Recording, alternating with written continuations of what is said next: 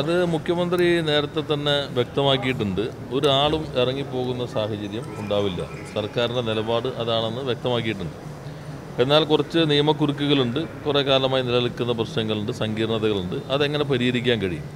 അതാണ് നേരത്തെ തന്നെ ഇവിടെ സമരം നടത്തുന്ന സമിതി എം എൽ എ ആവശ്യപ്പെട്ടനുസരിച്ച് യോഗം ചേർന്നു. അതോടൊപ്പം തന്നെ ഇവിടെ ബിഷപ്പ്മാർ അവരും ഇക്കാര്യമെല്ലാം കാര്യമെല്ലാം ശ്രദ്ധയിൽപ്പെടുത്തിയിരുന്നു.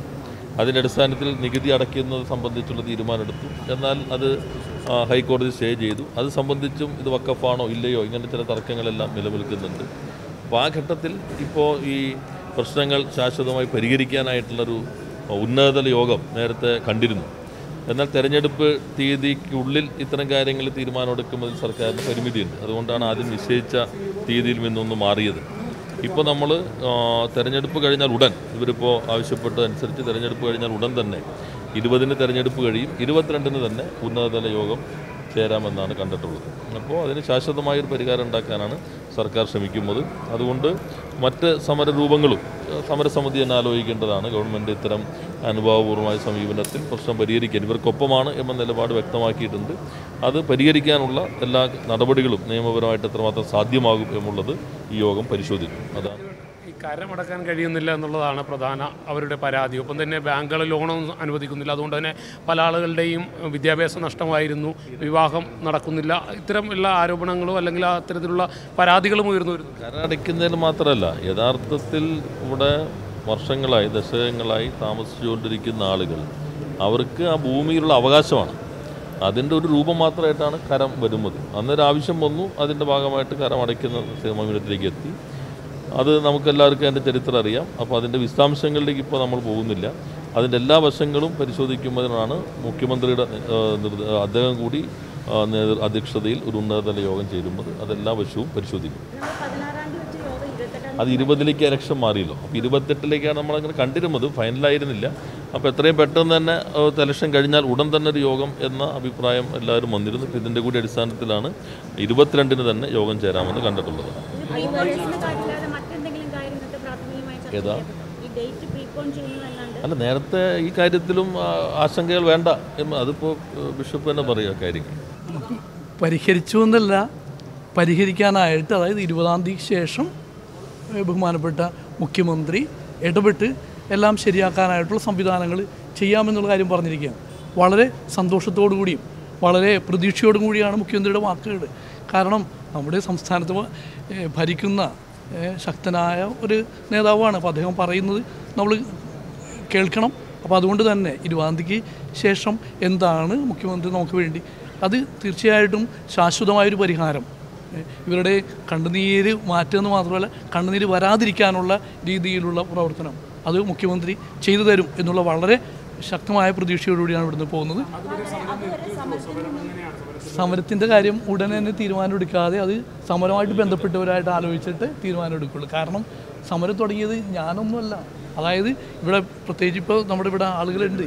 ഇവിടെ ഇവിടെ ഇവ ഈ ഇതുമായിട്ട് ബന്ധപ്പെട്ട് നേരിട്ട് അനുഭവിക്കുന്നവരുണ്ട്. കൃത്യമായിട്ട് അവരോട് ചോദിക്കുക എന്തെങ്കിലും നിങ്ങൾക്ക് ചോദിക്കാനുണ്ടെങ്കിൽ ഇവിടെ ബെന്നിയുണ്ട് വളരെ വ്യക്തമായിട്ട് എല്ലാം പറഞ്ഞു തരാൻ പറ്റിയ ആളാണ്.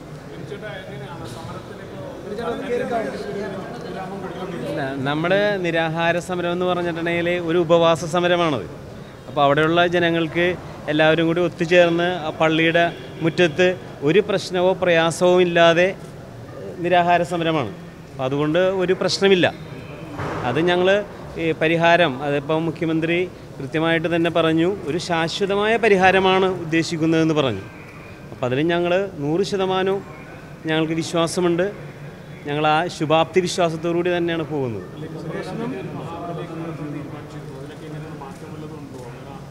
അല്ല അതെല്ലാം അത് അതൊന്നും സമാധാനപരമായിട്ടാണ് എല്ലാം ചെയ്യുന്നത്. ഒരു രീതിയിൽ ഒരു വണ്ടി പോലും ബ്ലോക്കാക്കാതെ എല്ലാം സമാധാനത്തോടുകൂടി ചെയ്യുന്നത് മാത്രമാണ്.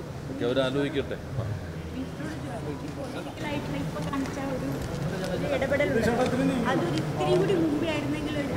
നമ്മൾ നേരത്തെ തന്നെ കാണിച്ചല്ലോ. നമ്മൾ നമ്മൾ നേരത്തെ തന്നെ ഈ നിലപാടിനെ സ്വീകരിച്ചിരുന്നത്. അതിന്റെ ഭാഗമായിട്ടാണ് നമ്മൾ നേരത്തെ മന്ത്രിതല യോഗം ചേർന്നു. അതിന്റെ അടിസ്ഥാനത്തിൽ നികുതി അടയ്ക്കാനുള്ള തീരുമാനമെടുത്തു. എടുത്ത തീരുമാനം ഉത്തരവ് എങ്ങനെയാണ്? ഇത് അമ്പത് മുതൽ വരുന്ന തർക്കങ്ങളാണ്. യഥാർത്ഥത്തിൽ അതിനൊരു കമ്മീഷൻ വന്നു. കമ്മീഷന്റെ അടിസ്ഥാനത്തിൽ വക്കപ്പോട് തീരുമാനമെടുത്തു. ആ തീരുമാനത്തിന് ബന്ധപ്പെട്ട് വ്യത്യസ്ത അഭിപ്രായങ്ങളുണ്ടാവും. അതിലിപ്പോൾ നമ്മുടെ സമീപനം അന്നും ഇന്നും എന്നും ഈ ഭൂമി ഇത്ര കാലമായി അവിടെ താമസിക്കുന്ന ആളുകൾ അവർ തെരുവിലേക്ക് ഇറങ്ങുന്ന സാഹചര്യം ഉണ്ടാകാൻ പാടില്ല. ഇതാണ് ഞാൻ അവിടെ നേരത്തെ സന്ദർശിച്ചു ഇപ്പോഴല്ല. ഈ പ്രശ്നങ്ങൾ സമരങ്ങളൊക്കെ വരുന്നതിന് മുമ്പ് എല്ലാ വീട്ടിലും ഞാൻ സന്ദർശിച്ച ആളാണ്. എം എൽ എയും ഞാനും കൂടി ഒന്നിച്ച് സന്ദർശിച്ചാണ് എം എൽ എ ആവശ്യപ്പെട്ട അനുസരിച്ച് കൂടിയാണ് നേരത്തെ യോഗം വിളിച്ചു ചേർത്തത്. ഇപ്പോഴും ഈ യോഗം നേരത്തെ ഈ ഇലക്ഷൻ കഴിഞ്ഞ ഉടൻ തന്നെ യോഗം വന്നു ഇപ്പോൾ ഈ പ്രശ്നത്തിലേക്ക് വന്നത് അവിടെയുള്ള ആളുകൾ ന്യായമായ ആവശ്യം വെച്ചിട്ടാണ് സമരം ചെയ്തത് പക്ഷെ അതിൽ പല താല്പര്യക്കാരും കിടന്നു കൂടുന്നതെന്നുള്ളൂ ഇപ്പോൾ ഈ വിറയ്ക്കുന്ന കൈ കൊണ്ട് ഒരു സ്ട്രോ കുടിക്കാൻ അവസരം പോലും നൽകാതിരുന്നവരാണ് ഈ സ്ഥലത്തിന് അവകാശത്തിന് വേണ്ടി ഇപ്പോൾ ചില പ്രസംഗങ്ങളൊക്കെ നടത്തുന്ന രാഷ്ട്രീയ പ്രസ്ഥാനങ്ങൾ. ഷാൻസാമിയുടെ നമുക്ക് ഓർമ്മയുണ്ടല്ലോ ജയിലിൽ കിടക്കുമ്പോൾ ഈ കൈ വരച്ചിട്ട് ഒരു സ്ട്രോ വേണം കുടിക്കാൻ വെള്ളത്തിനെന്ന് പറഞ്ഞിട്ട് അതുപോലെ കൊടുക്ക മഠങ്ങളും പള്ളികളൊക്കെ ഒളിപ്പിച്ച് എന്തെല്ലാം നമ്മുടെ നാട്ടിൽ മടങ്ങും അവരാണ് ഇതിന്റെ ന്യായമായ ആവശ്യം. ആവശ്യത്തിന് ഈ സങ്കീർണതകൾ ഒഴിവാക്കി എങ്ങനെ പരിഹാരം ഉണ്ടാക്കാൻ കഴിയും? അതാണ് സർക്കാർ ശ്രമിക്കുന്നത്. അതിപ്പോൾ എല്ലാവർക്കും അത് വളരെ വ്യക്തമല്ല? എല്ലാവർക്കും അറിയാമല്ലോ ഇത് സംബന്ധിച്ച് വളരെ വ്യക്തമായ കാര്യമാണല്ലോ. നമ്മളൊരു വർഗീയ ധ്രുവീ ഇപ്പം ഞങ്ങൾ തന്നെ ഇതിൽ പലപ്പോൾ ഞാൻ നിങ്ങളോട് പറഞ്ഞു നിങ്ങൾ തന്നെ ഒന്ന് അന്വേഷിച്ച് നോക്കൂ വക്കഫ് ബോർഡിന്റെ തീരുമാനം എടുത്തത് ആരുടെ അധ്യക്ഷതയിലാണ്? ആ ബോർഡ് ആരായിരുന്നു? കേസ് കൊടുത്തവരാരായിരുന്നു അതുപോലെ ഈ സ്ഥലം അക്യൂർ ചെയ്തിട്ടിപ്പോൾ മാധ്യമം പത്രത്തിൽ ഹൈക്കോടതി അഭിഭാഷകനാണ് അതാരായിരുന്നു അദ്ദേഹത്തിന്റെ പൊളിറ്റിക്കൽ പൊസിഷൻ എന്തായിരുന്നു? ഇങ്ങനെ പല പ്രശ്നങ്ങളുണ്ട്. പക്ഷെ നമ്മളതല്ല നമ്മൾ നോക്കുന്നത് അവിടെ താമസിക്കുന്ന സാധാരണക്കാരായ മനുഷ്യരാണ്.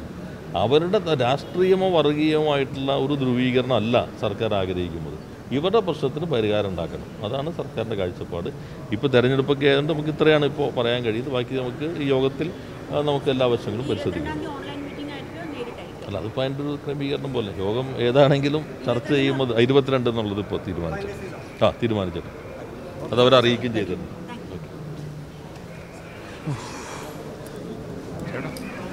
എന്താ